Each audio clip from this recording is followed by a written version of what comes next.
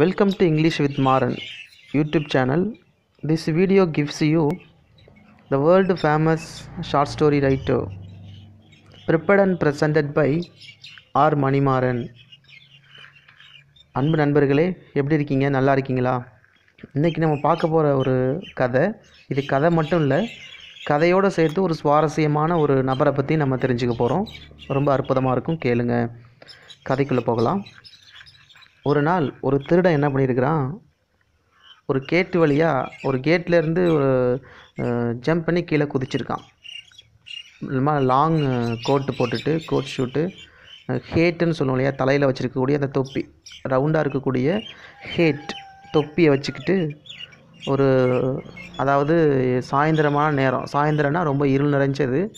இருள் நிறைஞ்ச நேரம் அப்படியே பார்த்தீங்கன்னாக்க அந்த நேரம் எப்படி இருக்குன்னாக்கா வெளிச்சமும் லைட்டாக தெரியுது. அந்த மாதிரி ஒரு ஒரு ஃபாரினில் இருக்கக்கூடிய ஒரு சுச்சுவேஷன் அதை நீங்கள் ஞாபகத்துக்கு கொண்டு வந்தீங்களேன். அந்த மாதிரி ஒரு சூழ்நிலை மேலே அந்த கேட்டிலேருந்து ஜம்ப் பண்ணி குதிக்கிறான் ஒரு ஆள். ஒரு பார்சல் ஒன்று கையில் வச்சுருக்கான்.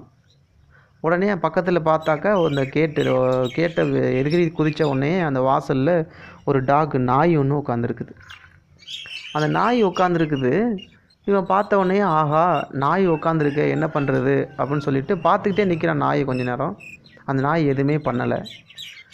சரின்ட்டு கொஞ்சம் கொஞ்சமாக ஸ்டெப் எடுத்து ஸ்டெப் எடுத்து வச்சு அந்த கதவு போகிறான் அப்போவும் இது ஒன்றுமே பண்ணலை. ஆஹா இந்த நாய் ஏதாவது நம்மளை பண்ணிட போகுது அப்படின்னு சொல்லிட்டு தன்னுடைய பைக்குள்ளே இருந்து ஒரு பீஸ் ஆஃப் கறித்துண்டு கறினா சாப்பிடக்கூடிய அந்த கறி ட்ரை பீசஸாக இருக்கும் இல்லையா? அந்த மாதிரி ஒரு கறி துண்டு எடுத்து அந்த நாய்க்கு போடுறான். அந்த நாய் என்ன பண்ணுது அப்படின்னாக்க இவனை உடனே வந்து கடிக்கிறதுக்கு அப்படியே சீறி பாஞ்சு அப்படியே ஜம்ப் பண்ணி வருது.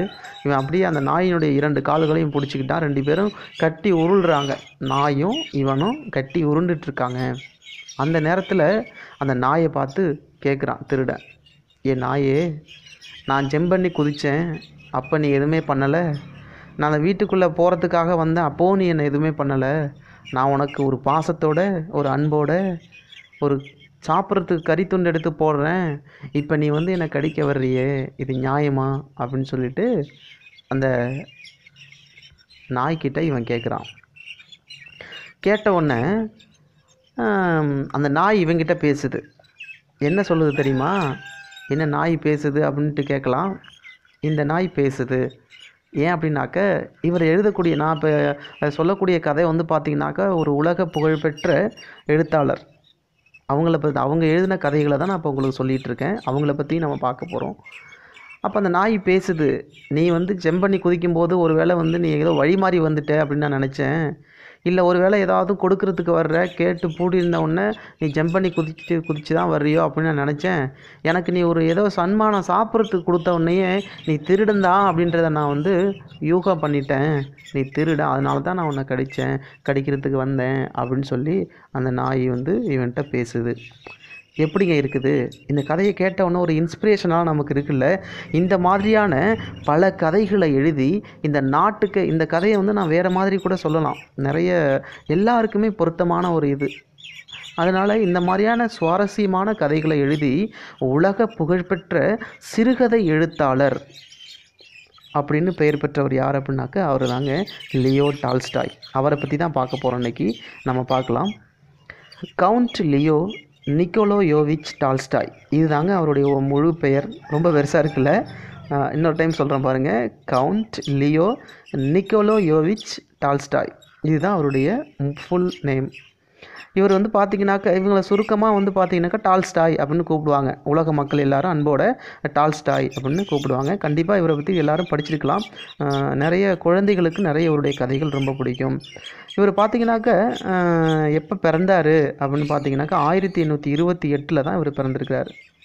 சரி இவரோடது தாத்தா வந்து இலியா டால்ஸ்டாய் அப்படின்றவர். காசானில் கவர்னராக இருந்தவர்.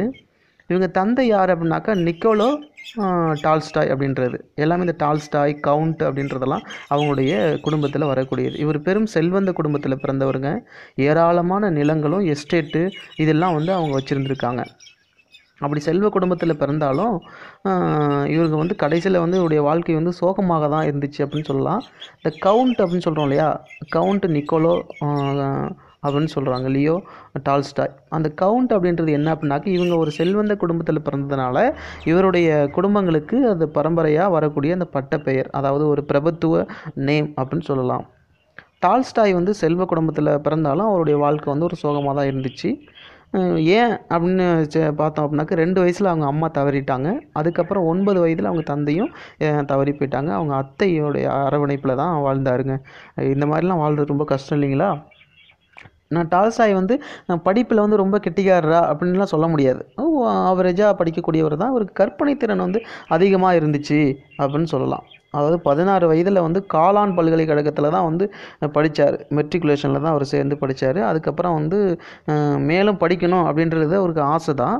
ஆனால் வந்து அதுக்கு மேலே அவர் படிக்கலை. ஏன் அப்படின்னாக்கா அவர் எதிர்பார்த்த துறை வந்து கிடைக்காததுனால அவர் வந்து பட்டப்படிப்பை சூஸ் பண்ணார். அதாவது பட்டம்னா அந்த இதில் அதாவது வக்கீல்னு சொல்லுவோம் இல்லையா நம்ம அதில் லாயர் அந்த மாதிரி சட்டம் படித்து அதுக்கப்புறம் சட்டத்துறையில் வந்து பட்டம் பட்டம் பெற்றார். இவர் வந்து தன்னுடைய தாய்மொழி என்ன அப்படின்னாக்கா ரஷ்ய மொழி தான் ரஷ்ய எழுத்தாளர் அதாவது ரஷ்ய நாட்டில் தான் ஒரு ஃபேமஸாக வந்து ஒரு சொல்லுவாங்க. ரஷ்ய எழுத்தாளர்னு சொல்லுவாங்க. ரஷ்ய மொழியை தவிர இவருக்கு இன்னும் வேறு என்னென்ன மொழி தெரியுமா? தெரியும். ஃப்ரெஞ்சு ஆங்கிலம் ஜெர்மன் போலிஷ் செக் இதெல்லாம் மிக பழமையான மொழிங்க. அதே மாதிரி பல்கேரியா டாடார் இத்தாலி அராபி டச்சு லத்தீன் கிரேக் ஹீப்ரியூ என்னங்க நான் சொல்கிற மொழியெல்லாம் வித்தியாசமாக இருக்குதா இதெல்லாம் மொழிங்க. இந்த மொழியெல்லாம் அவர் தேர்ச்சி பெற்று இருந்திருக்கிறாரு.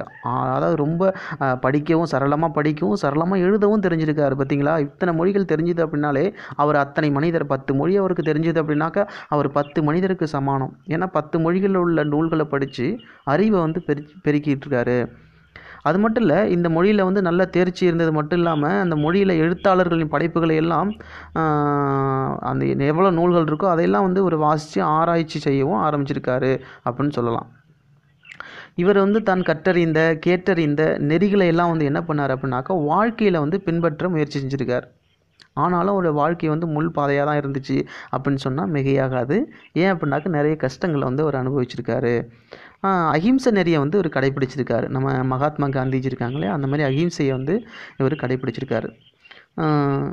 யாஸ்னாயா போலியானா அப்படின்ற ஒரு எஸ்டேட்டு. அந்த எஸ்டேட்டு பார்த்தீங்கன்னாக்க மிக அதாவது பெரிய மாளிகை இவர் பிறந்த இடம். அதாவது மாமேதை வந்து தன்னுடைய கடைசி காலத்தில் வந்து பார்த்தீங்கன்னாக்க வேறு இப்படி ஒரு எஸ்டேட்டில் பிறந்துட்டு ஆனால் கடைசி காலத்தில் வந்து ஒரு சின்னஞ்சிறு ஒரு கிராமத்தில் குக்கிராமத்தில் ஒரு ஒருத்தருடைய வீட்டில் ஒரு சிறிய அறையில் அதாவது வாடகைக்கு அந்த வீட்டில் அவர் இறந்துருக்காரு அப்படின்றது ஒரு குறிப்பிடத்தக்க விஷயங்க. அது மட்டும் இல்லை இவர் வந்து பார்த்தீங்கன்னாக்க அஷ்டபோவோ அப்படின்ற ஒரு ரயில் நிலையத்தில் தான் வந்து இவருடைய உடல்கள்லாம் வந்து எடுத்துகிட்டு போயிருக்கு எடுத்துகிட்டு போயிருக்கிறாங்க. இவருடைய எஸ்டேட் மாளிகைக்கு தான் கொண்டு போயிருக்கிறாங்க கடைசியில். மாளிகையை விட்டு வந்துட்டார் இவர். ஏன்னா உலகம் முழுவதும் சுற்றுப்பயணம் மேற்கொண்டு நிறைய புத்தகங்களை இவர் எழுதியிருக்கிறாரு. இவர் வந்து கடைசியாக வந்து புதைக்கப்பட்ட இடம். எங்கே அப்படின்னாக்கா அவருடைய மாளிகை அந்த எஸ்டேட். நான் இப்போ சொன்னேன் இல்லையா? எஸ்னாயா போலியானா அப்படின்ற ஒரு இந்த எஸ்டேட் அங்கே தான் அந்த இடத்துல வந்து ஒரு மந்திரக்கோள் வந்து புதைக்கப்பட்டிருக்குதான். அவருடைய சமாதி இருக்கு இல்லைங்களா அந்த இடத்துல. ஏன் அந்த மந்திரக்கோள் புதைக்கப்பட்டிருக்குது அப்படின்னாக்க அதில் வந்து உலக துன்பங்களிலிருந்து மனித குலத்தை விடுவிப்பதற்கான ஒரு ரகசியம் வந்து எழுதி வைக்கப்பட்டிருக்குது அப்படின்னு சொல்கிறாங்க ஏன் சார் அப்படின்னாக்க டால்ஸ்டாய் வந்து சிறுவனாக இருந்தபோது அவருடைய சகோதரன் அவங்க பேர் என்னன்னாக்கா நிக்கோலோ. அவர் வந்து ஒரு சிறு கதை ஒரு கதை சொல்லியிருக்காரு. இந்த இந்த இடத்துல வந்து இப்படி இருக்குது அப்படின்னு சொல்லிட்டு உண்மை அவர் சொன்னது. இந்த இந்த கோல் இருக்கு இல்லையா செங்கோல்? இதில் தான் வந்து கடவுள் இருக்காரு. இந்த கடவுள் வந்து உலகத்தை எல்லாம் உலகத்தில் இருக்க மக்களுடைய துன்பங்கள்லாம் தீர்க்கிறாரு அப்படின்னு சொல்லியிருக்கிறாரு சின்ன வயசில். நம்ம சின்ன வயசில் நம்ம பயமுறுத்துறதுக்காக அண்ணன்கள் தம்பிங்களை எல்லாம் வந்து நம்ம என்ன சொல்லுவோம் அப்படின்னாக்கா பயமுறுத்துவோம் தெரியுமா? இதே அந்த மரத்துக்கிட்ட போகாத. அந்த மரத்தில் வந்து க- அந்த இப்போ சாமி இருக்குது போக அந்த மாதிரிலாம் இதை நம்பி இவர் நம்ம அந்த ஒரு கிரியேட்டிவிட்டி தான் அவர் பிற்காலத்தில் எழுதுறதுக்கு தோன்றுனுச்சு அப்படின்னு சொல்லிட்டு நான் ஒரு சில கதைகளில் நான் படிச்சிருக்கிறேன். அப்புறம் வந்து பார்த்தீங்கன்னாக்க இவருடைய கடைசி காலம் எப்படி இருந்துச்சு அப்படின்னாக்க அதாவது ஸ்டாரி ஜாக்ஸஸ் ஜாக்ஸ் ஜாக்கஸ் அப்படின்னு சொல்லக்கூடிய இடத்துல தான் வந்து இவர் இருந்திருக்குது அங்கே தான் வந்து இவருடைய உடல் வந்து அடக்கம் பட்டிருக்குது அந்த அவர் சொன்னோம் இல்லையா அந்த எஸ்டேட்டு அந்த எஸ்டேட்டோட பேர் என்ன அப்படின்னாக்க அதாவது யாஸ்னா போலியானா. அந்த இது பேர் என்ன அப்படின்னாக்க அதாவது ஸ்டாரி ஜாக்ஸஸ் அப்படின்னு சொல்லக்கூடியது. இவர் பிறந்த இடம் ஒரு அடக்கம் செய்யப்பட்ட இடம் இன்னமும் பார்த்தீங்கன்னாக்கா ஒரு புனித ஸ்தலமாக போற்றப்பட்டு தான் இருக்குது. ஒரு கண்காட்சி நம்ம அப்துல் கலாம் ஐயாவுடைய இது வச்சுருக்காங்களே ராமேஸ்வரத்தில். அந்த மாதிரி ஒரு மிகப்பெரிய இதாக வந்து அவங்க அந்த ரஷ்ய அரசு வந்து எல்லாத்தையும் எடுத்து அவங்க வச்சுருக்காங்க. சரி என்னென்ன வச்சுருக்காங்க அப்படின்ற கண்காட்சி சாலையை எப்படி மாற்றிருக்காங்க என்னென்ன அங்கே இருக்குனாக்கா இவர் உபயோகித்த பொருட்கள் படித்த புத்தகங்கள் கையெழுத்து பிரதிகள் உருவப்படங்கள் இவருடைய குடும்பத்துடைய குடும்பத்தை அவங்க உறுப்பினர்களுடைய படங்கள் எல்லாவற்றையும் பார்த்தீங்கன்னாக்கா அங்கே காட்சிக்கு வச்சுருக்காங்க. இந்த ரஷ்ய அரசாங்கம் பாதுகாத்து வச்சுருக்குது அப்படின்னு சொல்லலாம். அதே மாதிரி அந்த யாசியானா அந்த யாஸ்னாயா போல்யானாவில் வந்து பல மொழிகளை சேர்ந்த இருபத்தி மூன்றாயிரம் புத்தகங்களை கொண்ட மிகப்பெரிய நூலகம் ஒன்று அங்கே இருக்குங்க. அந்த நூலகம் வந்து பார்த்திங்கன்னா அமைக்கப்பட்டு அம அமைக்கப்பட்டு அமைச்சு வச்சுருக்காங்க. அந்த நூல்நிலையத்தில் வந்து ஒரு பெரிய மேஜை ஒரு சாய்வு மேஜை சாய்வு மேஜை நாற்காலி ஒன்று அங்கே இருக்குது. அது வந்து அங்கே இன்னமும் அந்த அந்த லைப்ரரி வந்து அலங்கரிச்சிட்டு இருக்குது. நீங்கள் போனால் கூட அங்கே பார்க்கலாம் இது ஏது எப்படி ஏன் அங்கே இருக்குது அப்படின்னாக்க நம்ம லியோ டால்ஸ்டாய் வந்து பிறந்த ஊர்லேருந்து ஒரு விவசாயி விவசாயி வந்து என்ன பண்ணுறாருன்னா அவர் பேர் என்ன தெரியுமா? தேயேவ். தேயேவ் அப்படின்ற விவசாயி பேனாவால் எழுதி கொ- அதாவது பேனாவால் இது வந்து கொட்டேஷனுங்க மிகப்பெரிய கொட்டேஷன் பேனாவால் எழுதியதை கோடாரியால் அழிக்க முடியாது அப்படின்னு அதில் வந்து பார்த்தீங்கன்னாக்க அந்த இதில் பொறிச்சு பொன்னெழுத்துக்களால் பொறி பொறிக்கப்பட்டிருக்குதாம் அப்படி எழுதி இவருக்கு அன்பளிப்பாக கொடுத்துருக்காங்க. இதை வந்து தன் வாழ்நாள் ஃபுல்லாக மிகப்பெரிய ஒரு பரிசு நான் வாங்கின வந்து மிகப்பெரிய ஒரு வேர்ல்டு கப்னு சொல்லுவோம் இல்லையா? அந்த மாதிரி பொக்கிஷம் அப்படின்னு சொல்லிட்டு பாதுகாத்து வந்திருக்காருங்க. பார்த்தீங்களா? எவ்வளோ ஒரு மிகப்பெரிய ஒரு தீவிர ஒரு சாதாரண ஒரு விவசாயி கொடுத்ததை வந்து வாழ் வாழ் வாழ்நாளுடைய புனிதமான ஒரு கிஃப்டாக வந்து பாதுகாத்துருக்காரு வச்சிங்களா? அந்த அது மட்டும் இல்லாமல் இவர் வந்து ஒரு மேன்மை உள்ள நம்ம மேன்மை உள்ளவர் மே ரொம்ப எளிமையானவர் அப்படின்லாம் வந்து போற்றப்படுறாங்க அவர் நாட்டில். அது மட்டும் இல்லை நிறைய நிறைய வந்து நம்ம பார்த்துருக்கோம் நிறைய விஷயங்கள் அநேக ரைட்டர்ஸ் இவங்களெல்லாம் நம்ம பார்த்துருக்கோம் எப்படிலாம் இருந்தாங்க எவ்வளோ வசதியாக சுகபோகமாக இருந்தாங்க ஆனால் இவர் மிகப்பெரிய வசதியை விட்டுட்டு கடைசி காலத்தில் வந்து எப்படி ஒரு குடும்பத்தில் வந்து இருந்திருக்காரு பாருங்கள் நெக்ஸ்ட்டு வந்து பார்த்தீங்கன்னாக்கா ஆயிரத்தி தொள்ளாயிரத்தி தொண்ணூற்றி ஓராம் ஆண்டு மால்ட் சேவ் அப்படின்ற ஒரு அதாவது கண்ணாடி தொழிற்சாலை அதாவது workers of the Maltsov glass factory அதை சேர்ந்த தொழிலாளர்கள் என்ன பண்ணுறாங்கன்னாக்கா அவருக்கு ஒரு அன்பளிப்பை கொடுத்துருக்காங்க. அதை வந்து அவர் தன்னுடைய எழுதிய தாள்களில் பறக்காத அது ஒரு கிளாஸ் மாதிரி வச்சு த- அதை அதை வந்து இவர் வந்து வெயிட்டுன்னு சொல்லணும் நம்ம வெயிட்டாக வைப்போம் இல்லைங்களா? அந்த மாதிரி இதை வந்து வச்சு பாதுகாத்து வந்திருக்காரு. இவங்க வந்து பார்த்திங்கனாக்கா நம்ம லியோ டால்ஸ்டாய் இவங்கள வந்து மேலை நாட்டில் தோன்றிய மிக தெளிவான சிந்தனையாளர்களில் ஒருவர். ரொம்ப குறிப்பிடத்தக்க விஷயம். நல்லா நோட் பண்ணிக்கோங்க. ஒப்பற்ற நூலாசிரியர்களில் ஒருவர். அது மட்டும் இல்லாமல் மிகச்சிறந்த இலக்கியவாதி அப்படின்லாம் வந்து வர்ணிக்கிறாங்க. மிகச்சிறந்த மிகச்சிறந்த இலக்கியவாதி அப்படின்னு சொல்லிட்டு வர்ணிக்க க வணி வ- வந்து இவரை வந்து வர்ணிக்கிறாங்க அப்படின்னு சொல்லலாம். ஒரு திருக்குறள் நம்ம கேட்டிருப்போம். இன்னா செய்தாரை ஒருத்தல் அவர் நாணல் நன்னயம் செய்து விடல் அப்படின்னு சொல்லிட்டு. ஆக்சுவலாக அந்த திருக்குறளில் வந்து நான் கரெக்டாக சொல்கிறேன்னு பார்த்துங்க. என்ன செய்தாரை ஒருத்தல் அவர் நாண அப்படின்னு இருக்கும். நாணல்னா இருக்காது. அவர் நாண நன்னயம் செய்து விடல் அப்படின்றது வள்ளுவர் குர குரல்.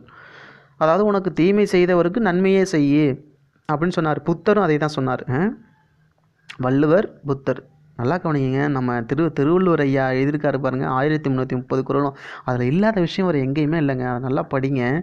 அநேக விஷயங்கள் நம்ம தெரிஞ்சுக்கலாம். இந்த ரெண்டு விஷயத்த நம்ம லியோ டால்ஸ்டாயுடைய கதைகளில் வந்து பார்க்கலாம். அப்படி ஒரு கதைகளை வந்து இவர் எழுதியிருக்காரு. ஏன்னா நான் முதல்லே சொன்ன பார்த்தீங்களா எவ்வளோ சுவாரஸ்யமான கதைகள்ன்ட்டு. தமிழ்லையும் கிடைக்கிது. த- இங்கிலீஷில் நிறைய புக் இருக்குது. அதில் புக்ஸ் லிஸ்ட்லாம் நான் சொல்கிறேன் உங்களுக்கு.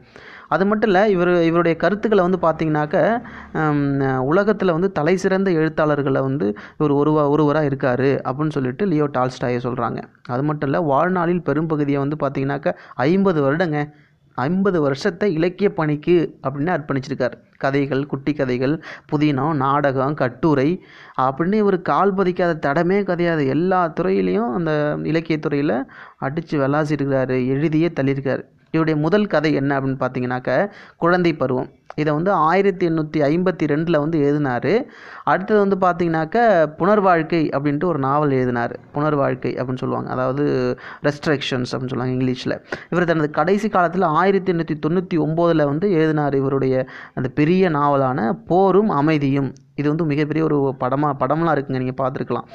ஈடு இணையற்ற நாவல் அப்படின்னு சொல்லலாம். அமர இலக்கியத்தில் ஒரு மிகப்பெரிய இலக்கியம் அப்படின்னு சொல்லலாம். எந்த அதாவது இன்னொரு விஷயம் இதில் குறிப்பிட்டு குறிப்பிட்டு சொல்லணும்னாக்க சோமர்செட் மாம் அப்படின்னு சொல்லி டபிள்யூ சோமர்செட்டு மாம் அப்படின்னு சொல்லுவ அப்படின்னு சொ அப்படின்னு சொல்லுவாங்க. அவங்களால வந்து என்ன பண்ணாங்க? போ மிகவும் போற்றப்படுறாரு இவர் அப்படின்னு சொல்லலாம். அடுத்து பாராமவுண்ட் அப்படின்னு சொல்லிட்டு சொல்லக்கூடிய நிறுவனம் இருக்குது இல்லைங்களா?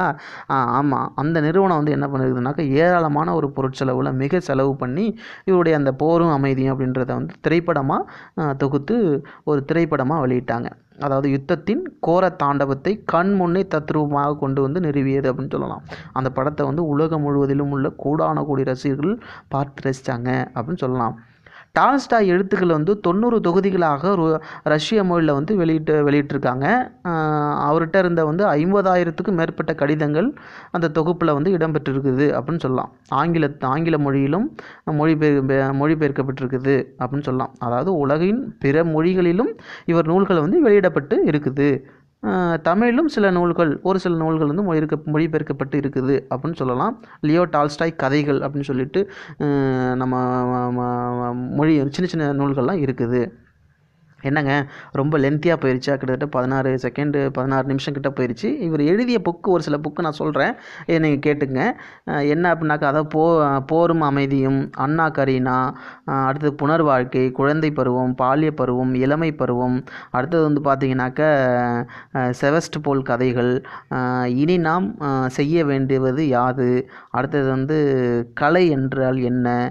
அடுத்தது வந்து பார்த்தீங்கன்னாக்கா உள்ளது விளம்பல் இருளின் இருளின் வலிமை இந்த மாதிரியான நிறைய புக்குன்னு நிறைய எழுதியிருக்காருங்க. நான் சொ- இங்கிலீஷ் த தமிழில் சொன்னேன். அதாவது Anna Karenina resurrection childhood boyhood youth அப்புறம் வந்து த்ரீ பார்ட்ஸு அதே மாதிரி வாட் இஸ் ஆர்ட்டு கன்ஃபெஷன்ஸ் இந்த பவர் ஆஃப் டார்க்னஸ் இந்த டெத் ஆஃப் ஐவன் எலியச்சு இந்த மாதிரி நிறைய கதைகள் எழுதியிருக்காரு. நீங்கள் லியோ டால்ஸ்டாய் பற்றி இப்போ இது சுவாரஸ்யமாக இருக்கும் அவருடைய கதைகள் எல்லாமே. அதே மாதிரி வந்து பார்த்திங்கனாக்க நிறைய ப பொ- பொருள்கள் அதாவது இன்றைக்கி வந்து இன்றைக்கி நடக்கக்கூடிய வாழ்க்கை அரசியல் பொருளாதாரம் எல்லாவற்றையும் ஒருங்கிணைத்து அந்த சிறுகதையில் வந்து சொல்கிறாரு அப்படின்னு சொல்லலாம். என்னங்க லியோ டால்ஸ்டாய் கதையை பற்றி கேட்டிங்களா? எப்படி இருக்குது? எனக்கு ஃபீட்பேக் கொடுங்க. அடுத்தது வந்து நான் நீங்கள் கொடுக்குற ஒவ்வொரு லைக்கு ஷேரு கமெண்ட் இதுதான் வந்து மெவ்வே மென்மேலும் என்னுடைய இன்னும் நிறைய வீடியோக்கள் வந்து பண்ணுறதுக்கு ஒரு முயற்சி இருக்கும் அப்படின்றத நான் அந்த வீடியோவில் சொல்லிக்க விரும்புகிறேன். தேங்க்யூ ஃபார் வாட்சிங் this video next video coming soon thank you for வாட்சிங் the next video is coming soon like share do subscribe our channel english with maran. Thank you. Bye bye